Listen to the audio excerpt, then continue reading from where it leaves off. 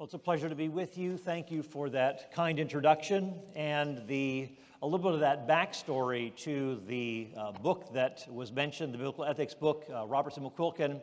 Actually, Robertson McQuilkin was president of Columbia International University, where I attended, and he was teaching the class on biblical ethics. And before it became a published book, it was just like a, you know, kind of a, a manual uh, that we used, you know, kind of the text for our biblical ethics class. And then eventually it got published. And then as he was getting older and wanted to update it, he asked if uh, someone could enter in to bring it into a third edition and uh, update it and so forth. So I was glad actually for the opportunity to step in and be uh, a co author with someone who had been a mentor and an influence in my life. So I trust that this will be a, a blessing to you all.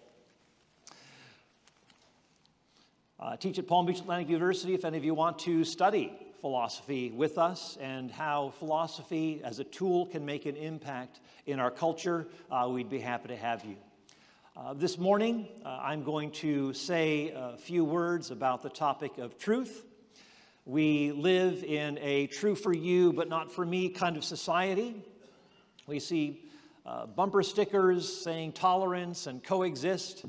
And uh, I've written a book specifically on the topic of uh, relativism and pluralism and the uniqueness of Christ in that kind of a world.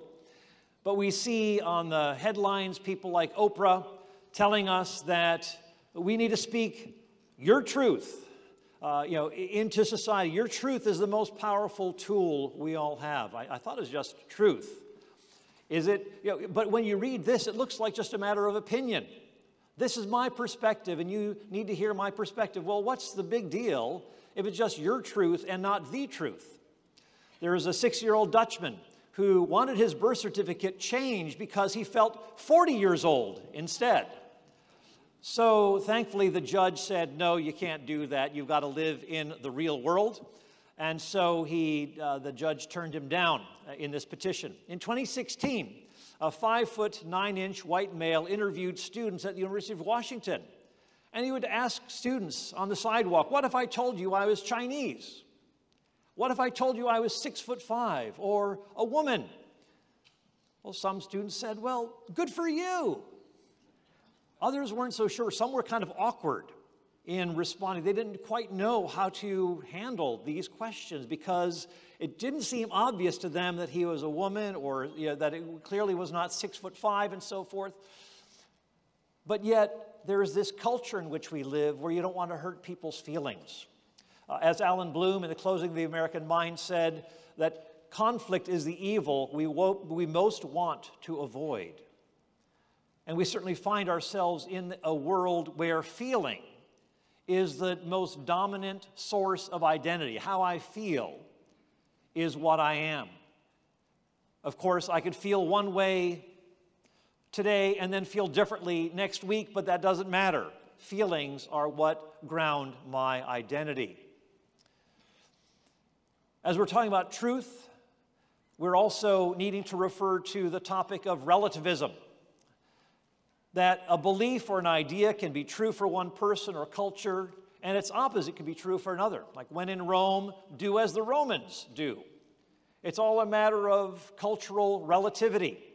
Who are you to say that someone else is wrong? Have you ever heard that? Of course, they believe that it's wrong to say that someone else is wrong. And it's not as though the Christian is saying, I'm the moral authority and you ought to listen to me. No, there's some basic moral realities that we need to come to terms with. So it's not as though I'm making this stuff up. Who made you the authority? Well, it's not up to me. Uh, I'm living, trying to live in conformity with a moral realm beyond ourselves. And usually, when you talk to relativists, they talk in terms of my truth, they talk in terms of true for you, but not for me. But it really reduces down to something on the level of opinion. You have your opinion, I have my opinion, you have your perspective, I have mine. And so there's no such thing as truth. And if that's the case, what, what does lying even mean? After all, that's just your truth. I've got my truth. So there is no realm, there is no objective reality to which our truth claims conform anymore. Truth can be twisted in any way that one wants. And that's what C.S. Lewis said, and I point out in this book, A Little Book for New Philosophers. He said that good philosophy must exist if for no other reason that bad philosophy must be answered.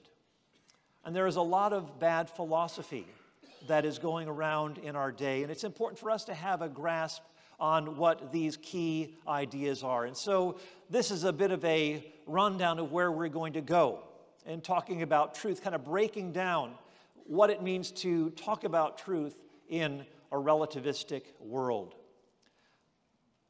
The first thing to keep in mind is that truth is a matchup with reality, which is unconstructed and inescapable. A lot of people see truth as a construct. You just make up your own truth, you create your own reality. But when we talk about what truth is, truth is a matchup with the way things really are. If I say that something is true, if I say that, make the claim, the moon is made of cheese. Now, the reason that that's false is because my claim my, does not match up with the way things really are. The moon is not really made of cheese, it's a denial of the way things really are. Metaphysics is a study of reality, and a truth claim is an attempt to match up with the way things are. It's kind of like a, uh, a socket wrench that you put on the head of a, you put on a bolt and you adjust it. And when there is a good fit, you can turn it. There's a correspondence to the size of the, the socket wrench head and the head of that bolt that you can turn. So, truth is this matchup with the way things really are. A, tr- a statement or a story or a belief is true if it matches up with reality. Now, what do you say to people who claim that reality is just a construct? We just make up our own reality. And this is common in sociology classes, some philosophy classes. Postmodernism is, is very much keen on this idea of our ideas, our beliefs, our claims of truth are simply a construct, perhaps to oppress people, to use power against others, and so forth. The problem with this, the idea that reality is a construct, is that the person who is saying this doesn't believe that his understanding of reality is a construct. This person believes that he is seeing things clearly, that he, his view is true and matches up with reality. Everyone else's is a construct. The problem with so many claims uh, of people who are relativists or postmoderns, they will make claims that they seem to be exempt from, but everybody else is subject to. So they will say things like, that's just your perspective. Well, then if you only have just your own perspective, then why should I pay attention to it?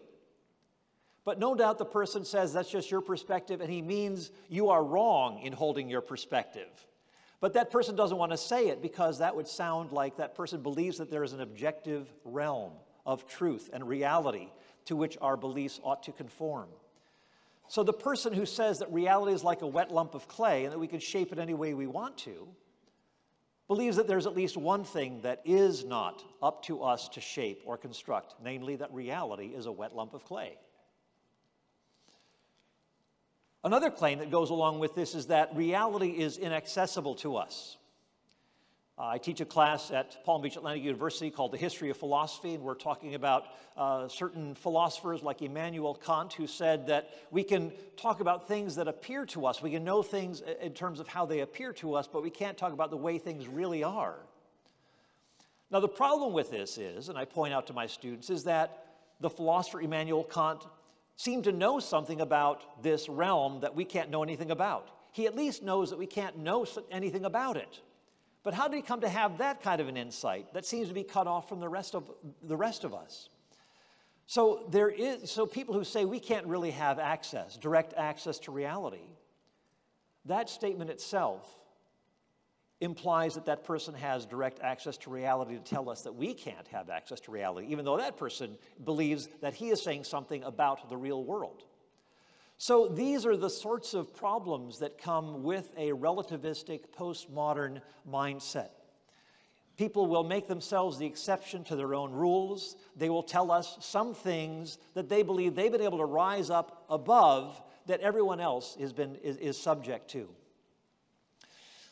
When people talk about my truth or your truth, the thinking results ultimately in a kind of triviality or a contradiction. Think of that. I remember I was sitting on a plane talking with someone who was a sociologist, person was the editor of a magazine, and she was telling me about how everything is a matter of perspective. And that when you say something and I'm saying something, there is what's called this incommensurability, that we can't actually connect on things, that there's no commonality that we have. And I said, Well, how do you know that? How do you know that there's no commonality between what we're talking about? It seems like we're having a perfectly coherent, intelligible conversation in which we understand each other. And she was saying, Well, we just all have our own individual perspectives. I said, Well, it seems that we have a, a kind of dilemma here. If you say that it's all a matter of perspective, is that just your perspective? Or is that true for everyone? You see, if it's just your perspective, why should I pay attention to it? But if you're saying that it's all a matter of perspective, well, then it's no longer just your perspective, but you're saying that this is something that is true about all people. So we're no longer dealing with just an opinion or a perspective, but we're dealing with truth for all people. So you have either something trivial that you're saying, or you're contradicting your something and contradicting yourself. And this is a common problem. Something is either trivial or it's self-contradictory. That is the problem of the relativist. That is the problem of the postmodern. It's sort of like this kind of the ice cream uh, flavor dilemma the relativist has this kind of a dilemma. If it's a matter of, you know, we talk about enjoying different ice cream flavors. I mean, my favorite uh, before I became a carnivore uh, was Ben and Jerry's New York Super Fudge Chunk. And I really enjoyed that ice cream, but it's not as though a person can't enjoy to great measure, say, a Haagen-Dazs Swiss chocolate almond or something. But a lot of people treat the matter of truth as simply uh, that which is a preference. It's sort of like a buffet line. I'll pick a little bit of this, a little bit of that. What I like, I'll take. What I don't like, I'll reject. But if it is simply a matter of preference or opinion or perspective, we have that problem of the trivial versus the self contradictory. If you say, well, this is just my favorite flavor, that's fine. But if you say, everybody ought to like Ben and Jerry's New York Super Fudge Chunk, there's a problem. So it, no, it, it leaves from that realm of preference, of my own feelings, my own perspective, to now that which has to be universally embraced by all people, which becomes, therefore, self contradictory. Don Cupitt, uh, someone who is known, uh, you know, has been known for having a liberal theological view, uh, you know, very antagonistic toward the Christian faith. He says reality has now become a mere bunch of disparate and changing interpretations. Now, is that just his own interpretation? Or is he speaking about the nature of reality? Friedrich Nietzsche said there are no facts, only interpretations. Well, is that a fact or just an interpretation? And so we are right to follow the advice of Roger Scruton, a noted intellect, British intellectual who died a few years ago, uh, but a powerful writer. He said, A writer who says there are no truths or that all truth is merely relative is asking you not to believe him. So don't.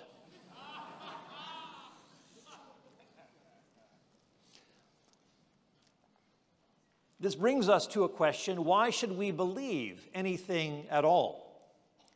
Well, the reason we ought to believe something is because it's true, because it matches up with reality. And we as Christians hold that the Christian faith is true because God raised Jesus from the dead. Paul said, If Christ has not been raised, our faith is futile. We are believing in vain, and we ought to be pitied above all people. If Christ has not been raised from the dead, let us just eat, drink, and be merry, for tomorrow we die. Now, Paul didn't say, you know, the Christian faith gives to us purpose. The Christian faith gives to us community. The Christian faith gives to us a job to do in this world. And even if Jesus didn't rise from the dead, it still gives us a purpose and community and so forth. Paul would say, nonsense. He said, That's pitiful, that's pathetic. We ought to get in tune with what reality is rather than living a deluded life. If Christ has not been raised, we are still in our sins, Paul says. The historical resurrection of Jesus, the bodily resurrection of Jesus, is a clincher for the founda- as a foundation for the Christian faith. If there is no bodily resurrection, there is no Christian faith.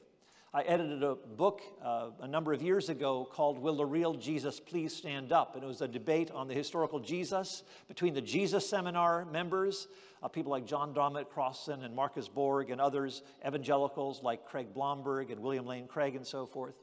And the, the chapter written by the Jesus Seminar, a very liberal group of scholars, uh, Marcus Borg, his chapter title in that book was The Irrelevancy of the Empty Tomb. Jesus rose from the dead, didn't rise from the dead, doesn't really matter.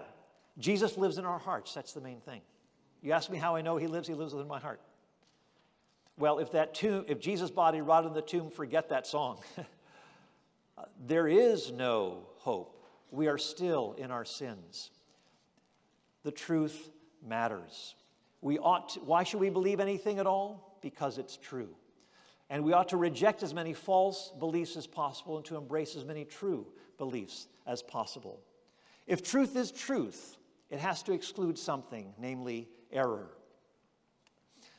And we have this problem in our country where, which encourages this kind of relativism because we, we don't want to say someone is wrong, we don't want to hurt anyone's feelings, but this actually contributes to a weakening of our minds. It contributes to a weakening of our hold on reality. I don't want to hurt someone, I don't want to hurt the Muslim's feelings because he denies that Jesus died and rose again. I don't want to hurt that person's feelings. We know we have a message to proclaim that involves those critical statements of faith, those critical beliefs, those things that happen in history. Uh, there is this book, you may have come across it, The Coddling of the American Mind, where there are three great untruths that these authors talk about uh, that found, that's found in you know, these beliefs or uh, untruths are uh, seen in many university students' minds and on campuses. Okay, these, these great untruths are what doesn't kill you makes you weaker. I thought it was what doesn't kill you makes you stronger. But no, here it's it makes you weaker. Number two, always trust your feelings. Number three, and aren't we seeing more and more of this? Life is a battle between good people and evil people. And we have to be careful too. It's easy for us to say, oh, those are the evil people out there. And we often ignore the evil within our own hearts. As uh, Alexander Solzhenitsyn said, that it's the line between good and evil is not between uh, political boundaries or nation states, you know, the lines that divide them, but it's actually the line that cuts through every human heart. And so it is important for us to recognize that. But in our culture, there is this safetyism that is so common on university campuses. And these authors uh, you know, talk about how this interferes with young people's social, emotional, and intellectual development and makes it harder for them to become autonomous adults who are able to navigate the bumpy road of life. Which is why free speech is often shut down because it actually requires people to think, to think about the truth to be challenged by the truth and maybe challenged by the fact that my beliefs maybe aren't always true and need to be perhaps reinforced or tweaked or, or rejected. So, just depending upon what the topic is. But uh, my wife and I were in Israel a few, you know, a few years ago, back in 2019, and we heard an Arab reporter who was speaking to our group, and uh, you know, noted journalist, who lived in Israel, and he said, You know, I agree probably with about 80% of the things that the Israeli government does. 20% I have problems with, but I'm glad to live in Israel. And he said that he used to go to, to university campuses in the United States. And he said he would get shouted down, he would be blocked. Because he had a more moderate stance on Israel, he would be blocked from being heard. And he said it became so terrifying that he just said, I'm, I'm no longer going to American university campuses because I'm just getting shouted down, I'm being vilified, and so forth. He said, I would rather go to talk to people who belong to Hamas in the Palestinian territory than to go to uh, American university campuses and deal with what I've had to deal with. I saw this uh, poster that uh, was on the internet, and it was uh, at Colorado State University. This, this, um, this board that says, if you or someone you know are affected by free, spe- free speech event on campus, call your parents and ask them to come and take you home. I love this. You're not ready for university yet. when I first thought, I thought, oh no, not another capitulation, another denigration of free speech. Ah, oh, finally, there's a little bit of sanity here. You're not ready. Again, that's, that's again reflecting that problem of the coddling of the American mind, where we're seeing so many people who are capitulating to that safetyism and not being willing to have their own views challenged. In fact, at Yale Law School, a lot of people are rejecting you know, they don't want students from Yale to come to work for them, graduates from the Yale Law School. Why? Because the Yale Law students are only hearing one side of the picture. They don't want to have any sort of principled debate that brings two opposing sides against each other. And so it's just basically this, you know, this kind of confirmation bias where you just hear your own perspective and there's no other viewpoint that is allowed to enter into the discussion. That's not how you train lawyers, my friends. When it comes to the matter of how we live our lives, this is where relativism falls down. You see, if a person is going to be a relativist, that person is going to have to be a selective relativist. A selective relativist. I like to tell the story about uh, J.P. Moreland, the noted Christian philosopher. Someone who is one of the most 50, he's he and William Lane Craig, two of my friends and mentors who have been top notch philosophers as, in the Christian community in fact, they're listed as the 50, in the 50 most influential living philosophers today. So William Lane Craig, J.P. Moreland. And they've done a great work in defending the gospel uh, against many challenges in the contemporary philosophical world.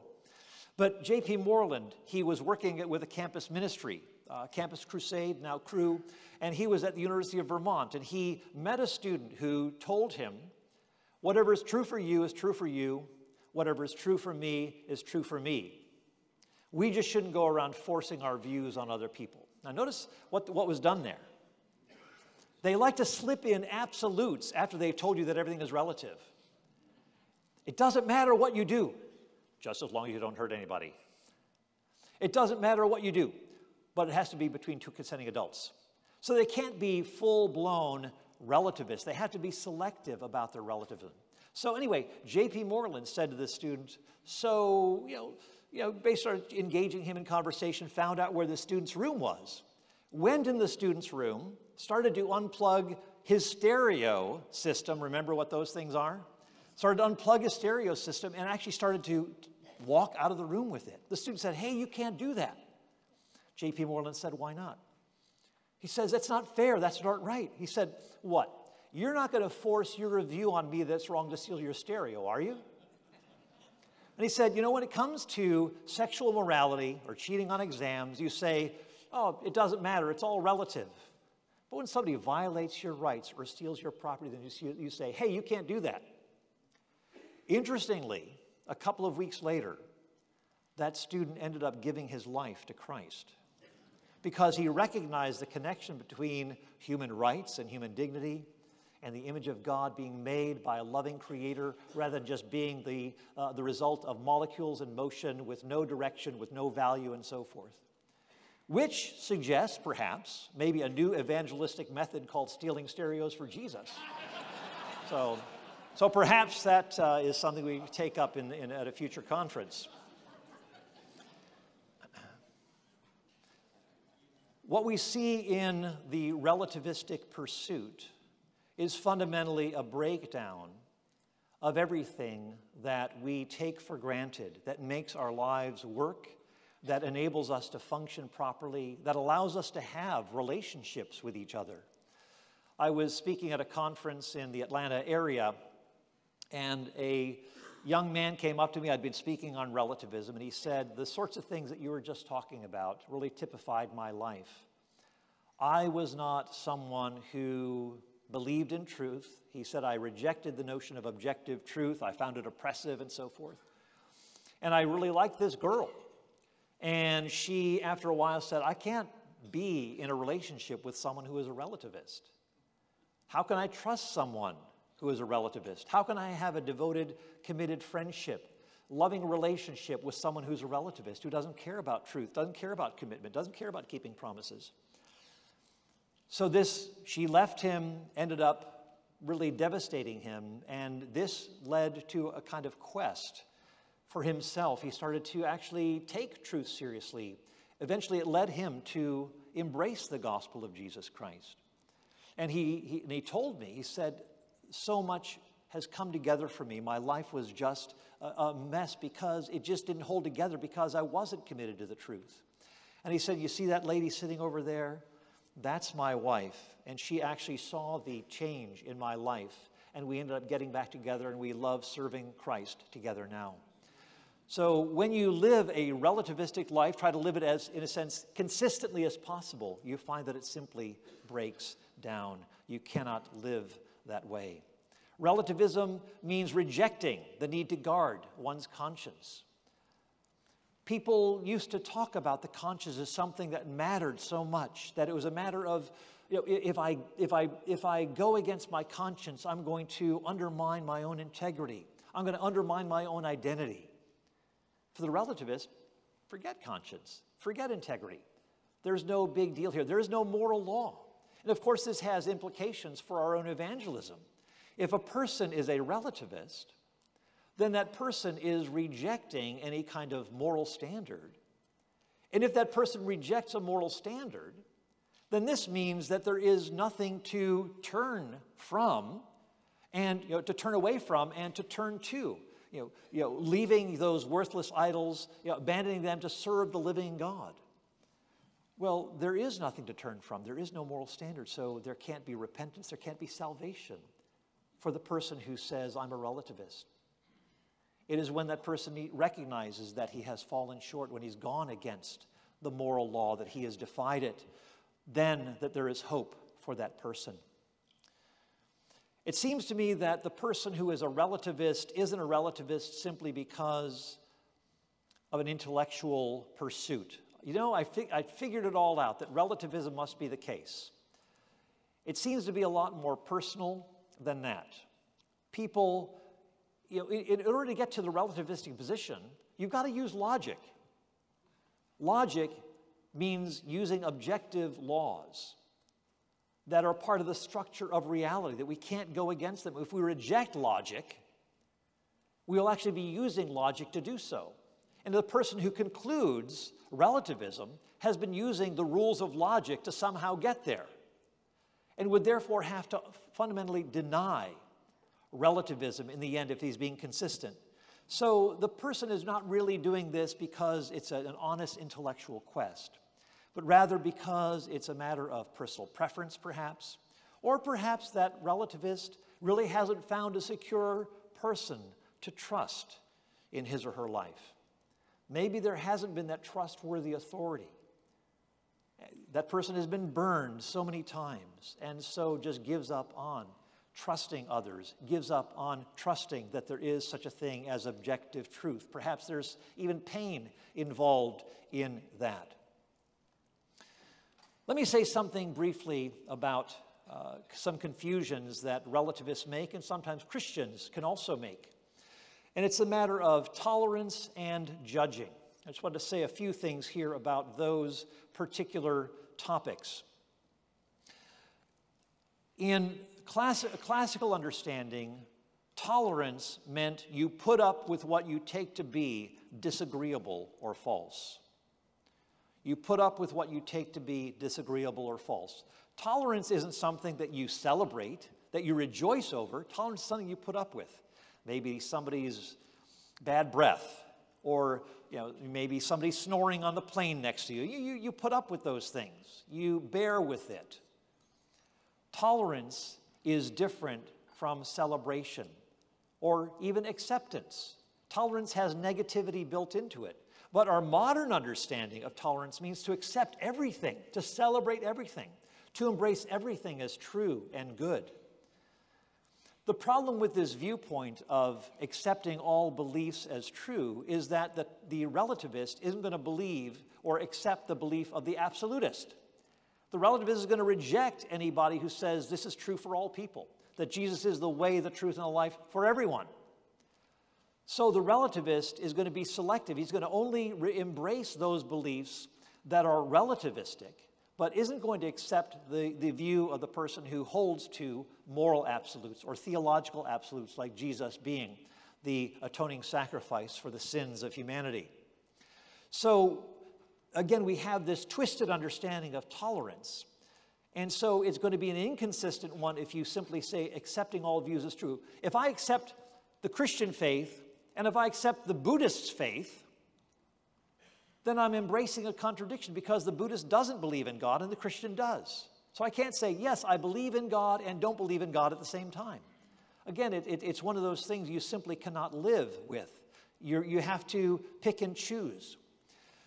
What about the problem of judging? A lot of people will say, Who are you to judge someone else? Ever been accused of that? Now, be careful about, of course, we have to be careful about the tone that we have when we're talking to people. Might have a little bit of edge to it. We might be perhaps quick to jump to conclusions, and, and we have to be careful there, of course. But when we talk about judgment, a lot of relativists who don't have anything to do with the Bible or believing in Jesus, they will like to quote Jesus on Matthew 7 1. Don't judge, lest you also be judged. So they will talk about uh, you know, this kind of a, uh, an embrace of Jesus when it seems to support their relativistic beliefs.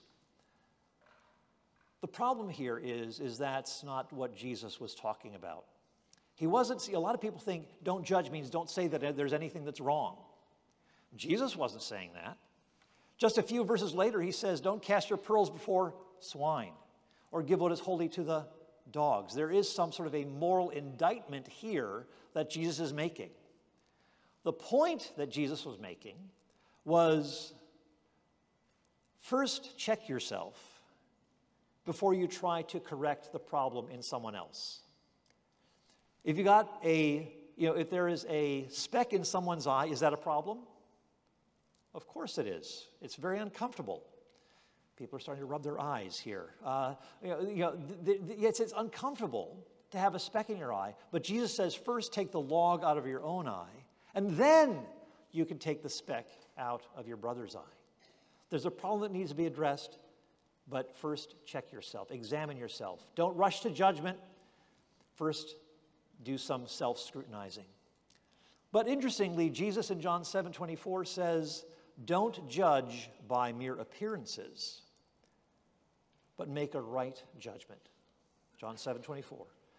Make a right judgment. The same word that's used in Matthew chapter 7. So, judgment is not, you can't say that you know, someone else is wrong. Jesus is saying a lot of people are wrong quite a bit of the time. Read Matthew 23, where he's excoriating the Pharisees and the religious leaders. Woe to you! He is condemning them, verse after verse. What Jesus is saying, though, is, you know, again, not having that sense of moral superiority. That's what Jesus is speaking against. That sense of moral superiority, perhaps at the failure of someone else. First, examine yourself, but make a right judgment. Moral relativism, as it turns out, is simply a system of absolutes. Even though people talk about your truth, your morality, and so forth, we simply cannot escape morality, even if you're a relativist. So here are some absolutes that relativists hold to. If you're not a relativist, you're absolutely mistaken. Uh, you should never say that someone else is wrong. Of course, the relativist can say that those who disagree with her are wrong. It's absolutely true that all views are equally acceptable, and not to accept someone else's view is immoral. Well, of course, that person is not going to accept your view as a Christian because that your view is intolerant and so forth. But again, there are these exceptions that the relativist has. The relativist says it's wrong to impose your morality on others, but where does that standard of morality come from? Why is it morally wrong? Seems like there's this objective standard. You should always be tolerant. Tolerance is the supreme virtue for the relativist. But why ought I be tolerant? It's just tolerant when it comes to certain beliefs. But when it comes to the relativist, the relativist doesn't want to have his own viewpoint critiqued. It's only those who hold to absolutes that can be critiqued.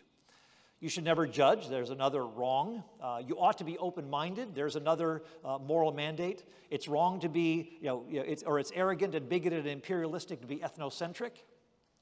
So we see these kinds of moral standards that even the relativists themselves hold to. I was speaking at the State University of New York in Oswego uh, a number of years ago, and there was a young lady during the Q&A time, she was saying, she was accusing me of my views being ethnocentric. And I said, Well, it, it, seems to me that you do believe that ethnocentrism is wrong for all people. I said, But why do you think that I am being ethnocentric?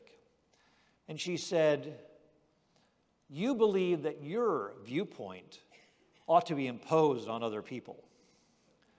I said, Well, I'm not trying to impose my view, I'm trying to expose people to a certain viewpoint and hope that they will be persuaded to accept it. But when it comes to imposing, I said, let me ask you a question. I said, if you're walking down a dark alley and there is a person who is about to assault you, but there's also a stranger who would be willing to help you and intervene, would you want that stranger to impose his morality on your attacker? She said, You're distorting what I'm saying. I said, No, I'm not distorting what you're saying. I'm saying that it's easy for us to talk about relativism when it's kind of out there and not affecting me. That's just true for you or right for you, but not for me. But when somebody violates my rights, when somebody violates me, I know that that is wrong. So, moral, moral relativism has to be selective. Uh, you know, when people are when people are reading the you know the sports page when people are reading a prescription bottle, they're not going to be relativists about that. They're not going to say, oh, that's just true for the pharmacist, but not for me. Uh, and you know, we're not going to say, well, you know, you know, you know, Brazil lost the World Cup for you, but not for me, you know, a few years ago. Um, you know, we, you know, we don't operate that, that way. When it comes to God and morality, that's where people start to get relativistic. They don't get relativistic when it comes to, oh, you say that light was green, I say it was red, officer, or vice versa. You know, we don't do that. We recognize that there are certain things where we that don't cut to the heart of who we are, that don't cut to the heart of our own personhood, our own moral decision making, our own desire for autonomy and so forth. When it cuts to those deeper things, that's when we're more likely to be relativistic than just kind of your every ordinary, everyday ordinary sorts of things like sports scores and so on. When it comes to morality, if, you know, some people say, well, prove to me that there is such a thing as objective morality.